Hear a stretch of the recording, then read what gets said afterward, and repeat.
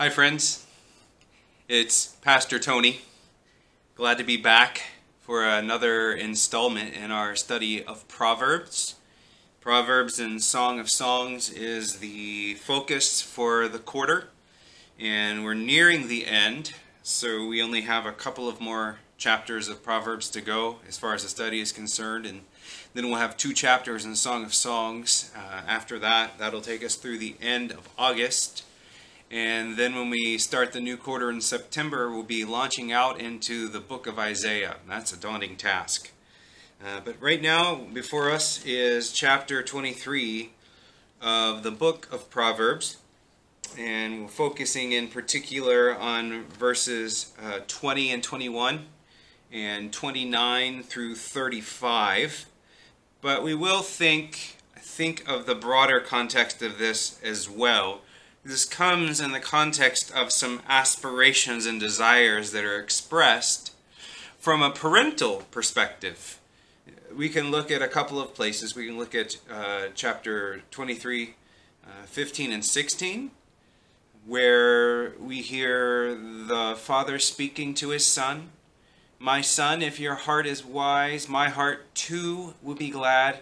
My inmost being will exult when your lips speak what is right and then verses 22 through 25 Listen to your father who gave you life, and do not despise your mother when she is old. Buy truth and do not sell it.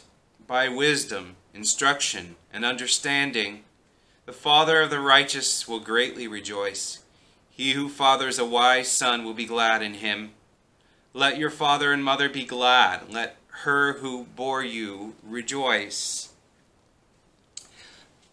think about for a moment when, if you are a parent, uh, when your children were starting to show those major leaps in development, whether it was those first words, whether it was that first crawl or those first steps that were being taken. I still remember my oldest son, Cohen, when he started to crawl. Uh, my wife Ruth Ann was playing uh, for a service on Saturday evenings, and uh, Cohen and I were out in the hallway area because he just wasn't old enough to really be settled. He wasn't young enough to be settled either. So, so we were out in the hallway and in, in a nursery area, and I still remember that moment when we were in that hallway and he was on his hands and knees and he started to make that traction in that crawling motion and how exciting it was. You might be able to think back to that too. Right? There, there's, a, there's a certain excitement, there's a certain rejoicing when we see something like that. There's a happiness in knowing that our children are doing well and that they're making progress uh, making progress and, and, and moving towards a greater degree of independence and discovery. You can think about that joy. And, and, and here, there's a similar joy that's expressed from parent to child in saying, My desire for you is your well being. I want to see you grow. I want to see you develop in progress, particularly uh, here in the things that matter most, in that growth in wisdom, right? Make my heart glad by walking in wisdom.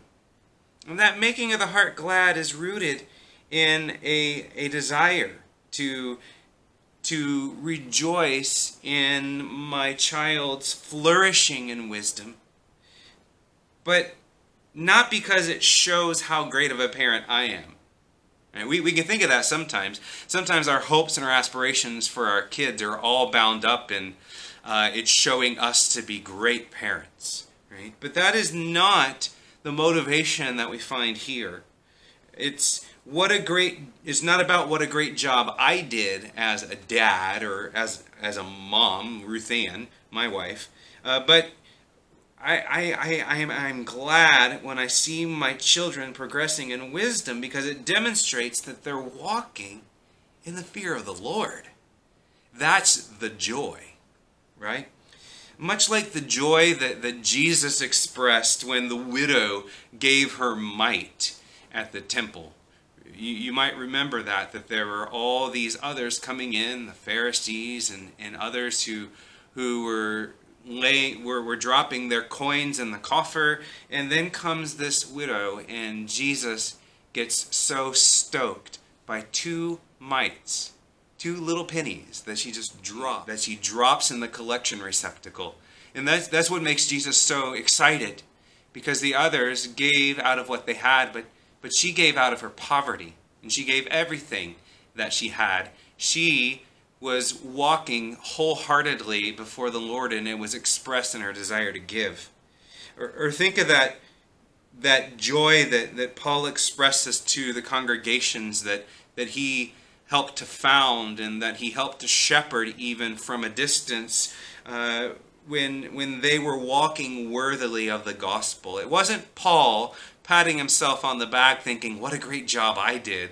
Look at, look at this. My, my children, they're doing so well because of me. Well, of course, there was an element of Paul's investment. But Paul's rejoicing was that they were growing in the fear of the Lord, that he was their joy, that he was their priority. That's what made him excited and happy. It was that the God that he rejoices in, they were also rejoicing in. The God that he was seeking to pursue, they were also seeking to pursue. There's a parental pride to be sure, but ultimately it's a thankfulness to God, not a pat on my paternal back for a job well done. Now, there are threats that are expressed here in Proverbs 23 to this kind of flourishing and wisdom, uh, to this kind of security uh, of a hope and a future. Um, we find it in different places. Uh, being envious of sinners. So, um, if I can just go back uh, to verses 19 and, and 20, and I'm sorry, verses 17 and 18 and following this leads us into our passages that, that are focal in, in the actual Sunday school literature. Let not your heart envy sinners, but continue in the fear of the Lord all the day. Surely there is a future, and your hope will not be cut off. So you can see the contrast there. Walking in the fear of the Lord means that there is a hope and that there is a future. But being envious of sinners means that there is no future, that there is no hope. You're going to forsake that future. And you're going to forsake that hope for temporal things that don't last and that will eventually destroy you. Right? You won't be flourishing in the way of wisdom.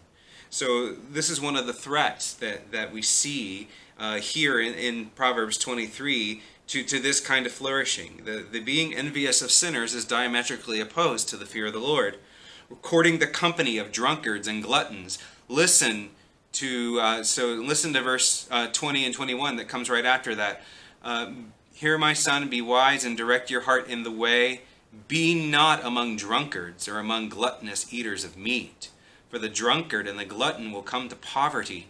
Slumber will clothe them with rags. There's no hope. There's no future there. Um, courting the company of gluttons and, and drunkards will likely mean that you yourself become a glutton and a drunkard, and there's nothing there. There's there's there it's it's a dead end street. They will come to poverty, uh, and slumber will clothe them with rags, and, and that's just a temporal outlook. Think about the eternal ruin that will come with that. So there's another um, threat as well to this kind of flourishing that, that's mentioned, and it, it's prostitutes, uh, the adulteress. My son. Um, Give me your heart, this is verse 26, and let your eyes observe my ways, for a prostitute is a deep pit, an adulteress is a narrow well. She lies in wait like a robber and increases the traitors among mankind. Nothing good there. And then uh, 29 and 35, this is another section that, that's featured in our lesson.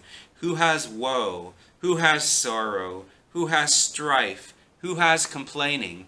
Who has wounds without cause? Who has redness of eyes? Those who tarry long over wine, those who go to try mixed wine, do not look at wine when it is red, when it sparkles in the cup and goes down smoothly. In the end, it bites like a serpent and stings like an adder. Your eyes will see strange things, and your heart utter perverse things. You will be like one who lies down in the midst of the sea, like one who lies on the top of a mast. They struck me, you will say, but I was not hurt. They beat me, but I did not feel it. When shall I awake? I must have another drink. So you have that list of things that will compromise your hope and compromise your future. The, the being among the drunkards and the gluttons, the giving yourself to an adulterous woman. Um, what was the other? The, uh, the lingering over wine. Right? So all of those things, they are indicative of a lack of self-control and unfettered feeding of appetites that will eventually destroy you. The focus in particular for this lesson will be verses 20 and 21 and verses 29 through 35, that emphasis upon gluttony and, and drunkenness. Um, so as, uh, as, as we prepare to do that, let's just have a word of prayer as we focus on those two things and ask for God's help. Father, we thank you for this time together. We thank you for this practical instruction from the book of Proverbs, practical for this life and for the next. And uh, Lord, as it prepares us for eternity, uh, Lord, just help us as we as we open your word to be wise and to hear your voice as you speak to us. We pray these things in Jesus' name. Amen. So the big idea that we'll be thinking about is this as a child of God whose hope and future are secure in Jesus Christ, pursue the wisdom of sobriety to make your calling and your election sure. This is Proverbs, but I'm borrowing a lot of New Testament language there, aren't I? Um, as a child of God, as a member of God's covenant people, as one who resides in the household of faith, whose hope and future are secure in Christ Jesus. Jesus took our sin away from us, right? He took that debt away. He took our enmity with God away, and He brought us to the Father to, to and, and He gave us peace where once we were at war with God. Uh, we have forgiveness of sins in Jesus' name. We have an inheritance that is sure and secure in Him because He ultimately is our inheritance and He ultimately is our security. And because of that, we pursue the wisdom of sobriety. And in that, we make our calling and our election sure. So, borrowing from 2 Peter, right, where there is that short sightedness, uh, this persistence in things that are not godly, that cause us to, to forget our former purification from our sins and really, if we walk in that long enough, we'll indicate that we never belonged to the Lord in the first place. And so that, that, that's what I want us to be thinking about here is as a child of God whose hope and future are secure in Jesus Christ, let's pursue the wisdom of sobriety, making our calling and our election sure. A few things that I want to say then about this. I already read it, but, but you have verse 20 and 21 Be not among drunkards or among gluttonous eaters of meat.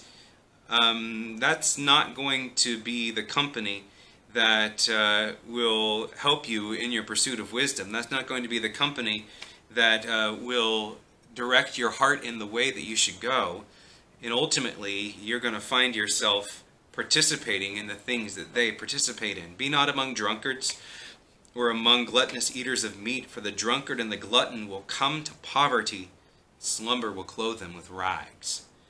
So, few things, observations that I want to make here. Um, and may, maybe I should just go ahead and, and read 29 through 35 again, too. Who has woe, who has sorrow, who has strife, who has complaining. It carries on. Those who tarry long over wine, those who go to try mixed wine. It looks good, you linger over it, and it's smooth going down, but then it bites like an adder, right? And leaves you senseless and saying things that don't make any good sense at all, and you become obsessed. Where's my next drink? That's what the last part mentions. Now, I, I want to. These are these are strong statements. I want uh, so a few observations. One, uh, this isn't a polemic against food and drink itself, right? So the first thing that I want to say is that food and drink, biblically speaking, are good gifts from God. So this isn't a polemic against them.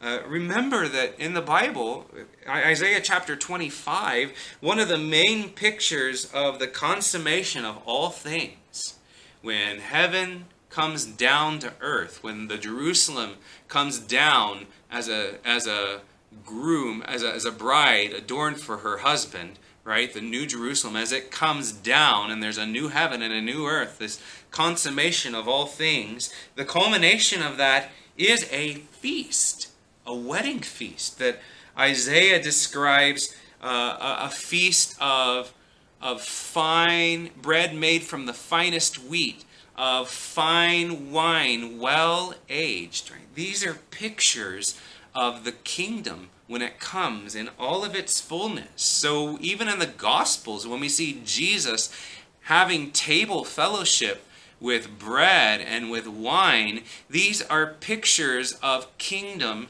feasting. So these these are good gifts from God.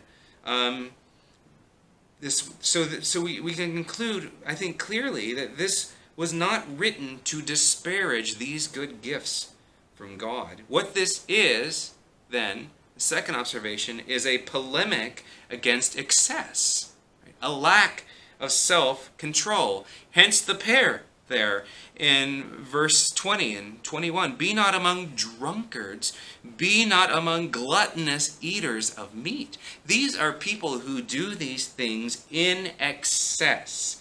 They take these good gifts from God and they abuse them. Right? So um, there's an additional associate, though it's not mentioned by name, we clearly see it with the outcome.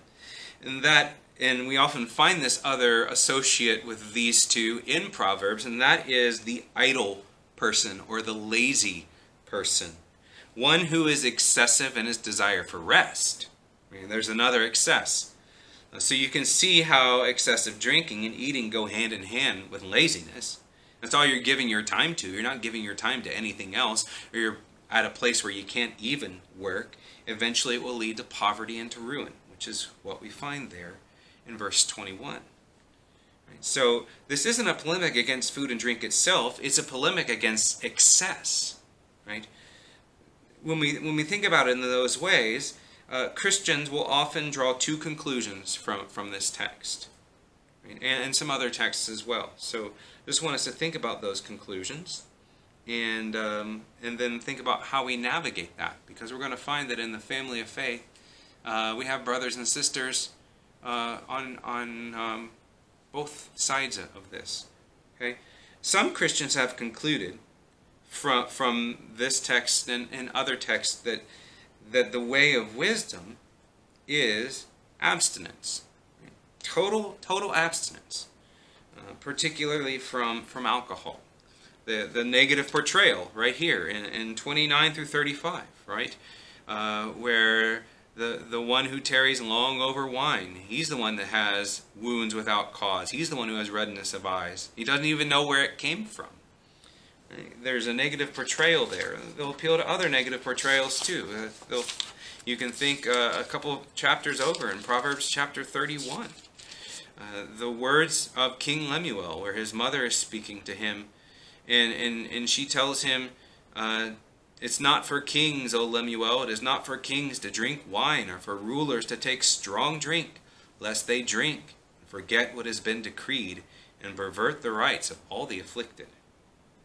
Or we could go to Proverbs chapter 20, verse 1, where um, it, it's uh, wine is a mocker, strong drink is a brawler. I think the Christian Standard Version says uh, beer is a brawler, wine is a mocker, strong drink a brawler, and whoever is led astray by it is not wise. Right? Being led astray by those things, you're not wise. Or you'll go back to Genesis chapter 9 after the flood, and Noah comes out and he begins to grow grapes from the ground. He, he becomes a man of the soil. So he does bring a kind of rest. That toil that was mentioned, that was that was laid out earlier in Genesis, in some way has been has been taken back. Thorns and thistles are not being yielded, but fruit, grapes, right? And Noah becomes a man of the soil, and then he drinks in excess and becomes drunk. Bad things happen, right? Uh, Genesis 19 sort of echoes of this with Lot and his daughters after they escape judgment. There's an escape of judgment, and then there is uh, two daughters who are frantic, wondering who will raise up offspring for us, and they get their father drunk. Right? And, and you know the rest of that story. Uh, so really, really negative depictions. Uh, the, the, the difference. So so those who will ad- advocate for abstinence as the way of wisdom will point to those negative examples of Scripture. They'll also talk about the differences between the strength of wine in biblical times and, say, the wine of modern times.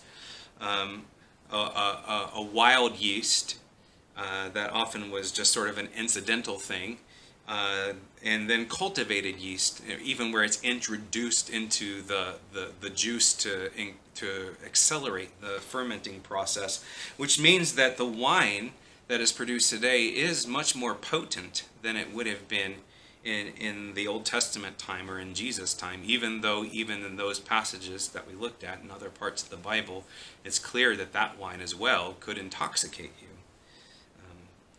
So that's that's the second thing that they'll point to. The third thing that that those who advocate the abstinence principle will point to is the potential for addiction, right? And and the destruction to to which that addiction leads, whether it's um, the the rags and the poverty that we read in Proverbs chapter 23, or even broken families, right?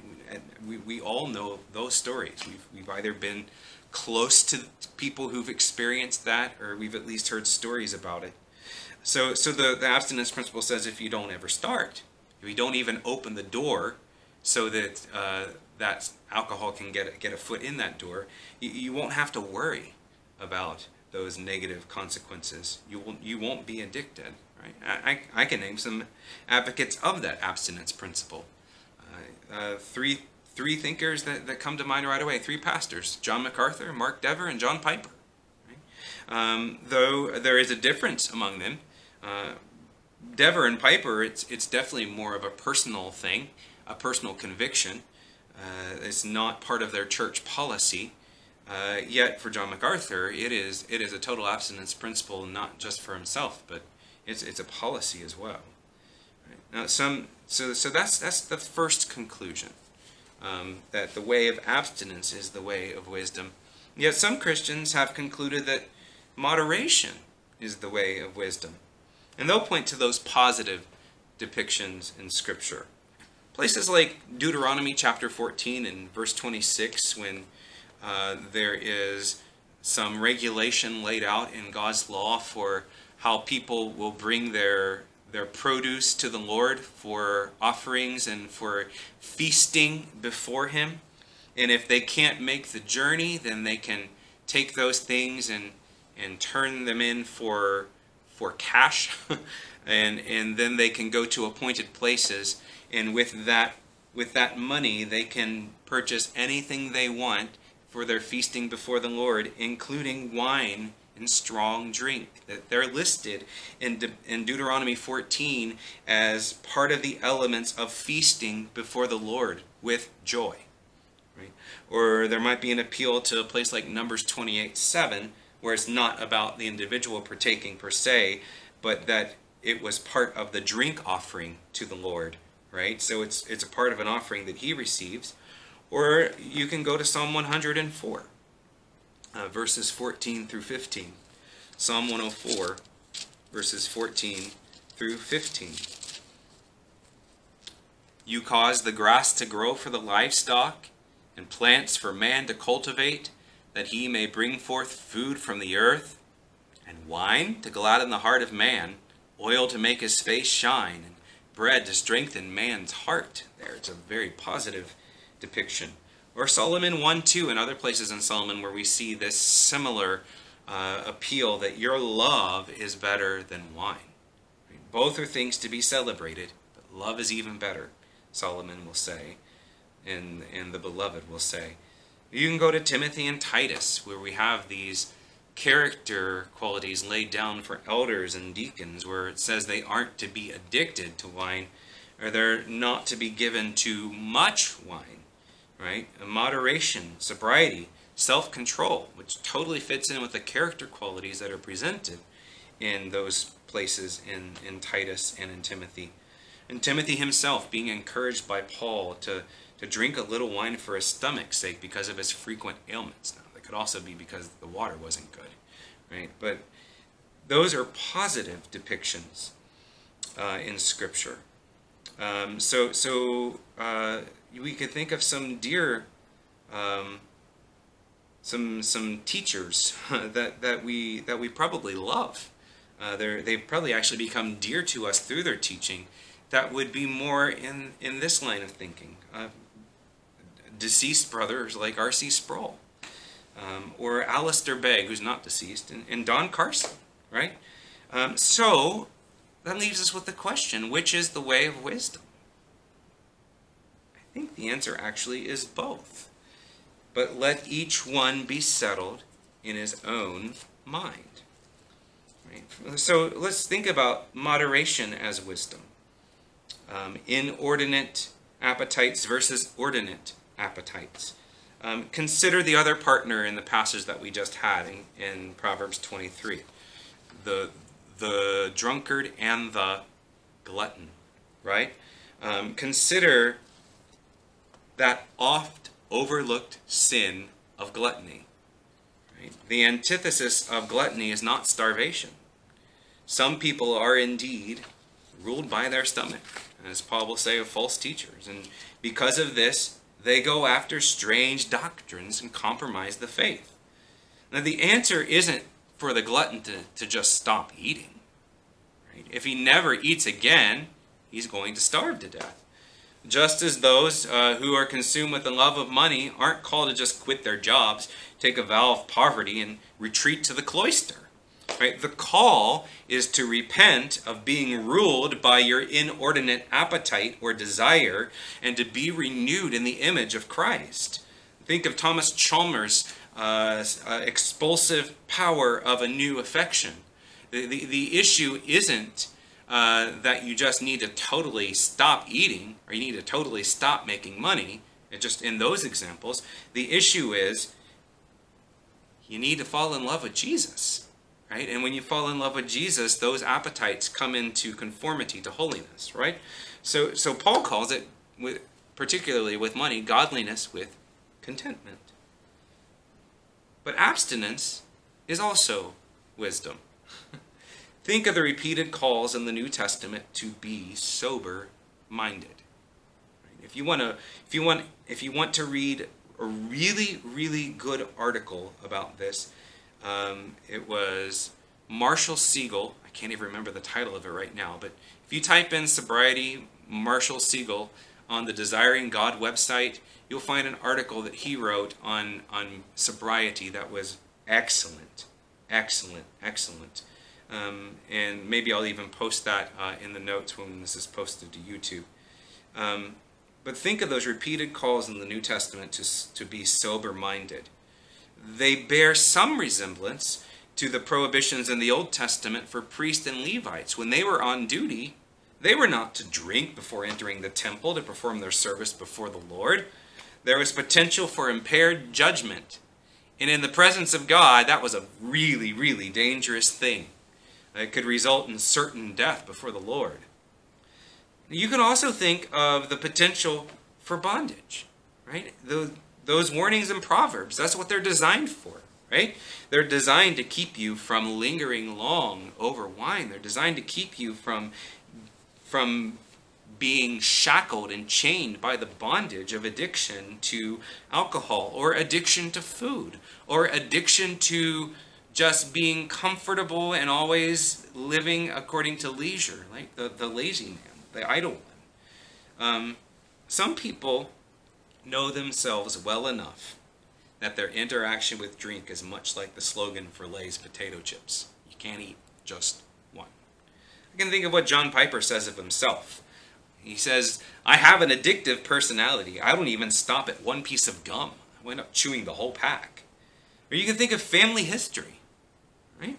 We're all predisposed to sin. We're by nature sinners. Right? And that is made obvious by our propensity to actually sin.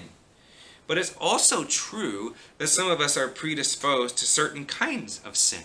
There are some who are predisposed to, say, alcoholism or some other addiction. Right? So it would be the better part of wisdom not to even try the substance, right? So, biblically speaking, then, I think it's safe for us to say that both of these positions are actually valid. For some believers, sobriety will be abstinence. For some believers, sobriety will be moderation. But the issue is sobriety. The issue is um, a moderated appetite for food, right? So, so how do we forge ahead? If this is true, if in the family of God there are genuine believers in Jesus Christ who have these different views, how do we forge ahead? Well, I think Romans 14 and 15 helps us a lot. And I actually quoted from Romans 14 earlier when I said, Let each one be settled in his own mind, or let each one be convinced in his own mind. So let me just read a portion of Romans chapter 14 just beginning in verse, verse 1 of Romans 14. As for the one who is weak in faith, welcome him, but not to quarrel over opinions. One person believes he may eat anything, while the weak person eats only vegetables. Let not the one who eats despise the one who abstains, and let not the one who abstains pass judgment on the one who eats, for God has welcomed him. Who are you to pass judgment on the servant of another? It is before his own master that he stands or falls, and he will be upheld, for the Lord is able to make him stand. One person esteems one day as better than another, while another esteems all days alike. Each one should be fully convinced in his own mind. The one who observes the day observes it in honor of the Lord. The one who eats eats in honor of the Lord, since he gives thanks to God, while the one who abstains, abstains in honor of the Lord and gives thanks to God. For none of us lives to himself, and none of us dies to himself. For if we live, we live to the Lord, and if we die, we die to the Lord. So then, whether we live or whether we die, we are the Lord's. For to this end Christ died and lived again, that he might be Lord both of the dead and of the living. Why do you pass judgment on your brother? Or you, why do you despise your brother? For we will all stand before the judgment seat of God. For it is written, As I live, as I live, says the Lord, every knee shall bow to me, and every tongue shall confess to God. So then each of us will give an account of himself to God. Therefore, let us not pass judgment on one another any longer but rather decide never to put a stumbling block or hindrance in the way of a brother. So, how do we forge ahead? Well, number one, we have here before us in Romans a tale of two believers. One uh, is partaking of certain things that are good, one is abstaining from certain things that are good yet both are walking in faithfulness before the Lord. So how do we forge ahead? Well, we we don't despise one another and we don't judge one another, right? Um, as long as is uh, one is not abstaining, because here he or she thinks it's a part of the gospel. In other words, um, abstinence is a work that saves me. We'll, we'll honor that decision to abstain if, if the reason for abstinence is um, abstinence is a work that saves me and makes me right with God, then, then we actually need to uh, rehash the gospel with that brother or that sister. Um, So I'm not going to pass judgment on my brother who abstains. Just as another brother or sister who is able to give thanks for that glass of wine or whatever it might be that they enjoy with a meal, we're not going to judge them for that. Right? So, so we, we don't despise or we don't judge one another. We seek the good of one another as well. Um, we, we, we can think of a place like here and in, in 1 Corinthians 8. We don't want to destroy someone else's faith. And this really is the essence of Christian liberty. I have the freedom to partake. I have the freedom to abstain in Christ. Think about that freedom to partake. Christ is Lord of my scripture informed conscience. Right? I'm I stand before him as my judge. I don't stand before him to be judged by other people in that way. I believe that what he has given me is a good gift, and I will glorify him by giving thanks to him and enjoying it whether it be food, drink, wealth, work, whatever it might be. I, but I will take that stand with humility and not in a manner that flaunts knowledge that puffs up. Right? So that's that's 1 Corinthians 8, right? So there is knowledge, but I might be using that knowledge, using that knowledge up. to prop myself up over another person. Right? I'll take my stand with humility, and I will love at all times. Love always seeks the other's good. Love is always interested in the interests of others, just like Philippians 2. Right?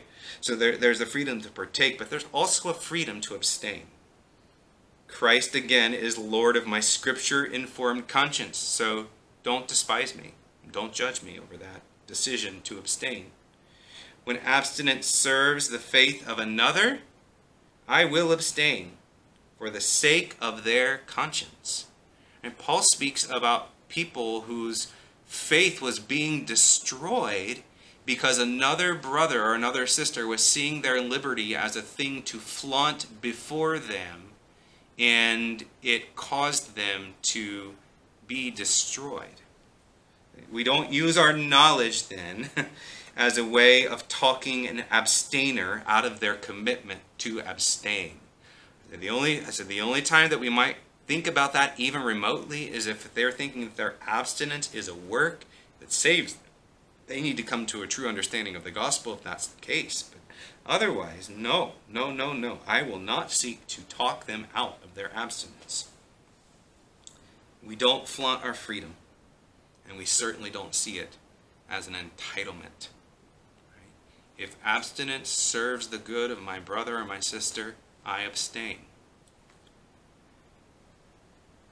So, how do we forge ahead? Well, we love one another.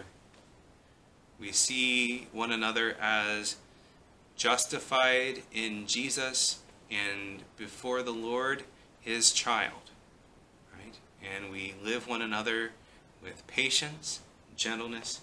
We don't despise, we don't judge, we live at peace with one another, each one fully convinced in his own mind, and that is a, that is a recipe for unity and harmony for the Lord. Jesus did not seek his own interest, Paul will say, um, but he gave up his interest for the sake of others. Um, we who are strong, uh, Romans 15, we who are strong have an obligation to bear with the failings of the weak, not to please ourselves. Let each of us please his neighbor for his good, to build him up. So Christ became a servant, and we should be servants too. So whether you abstain or whether you don't, do it for the glory of God and in the service of others. Amen?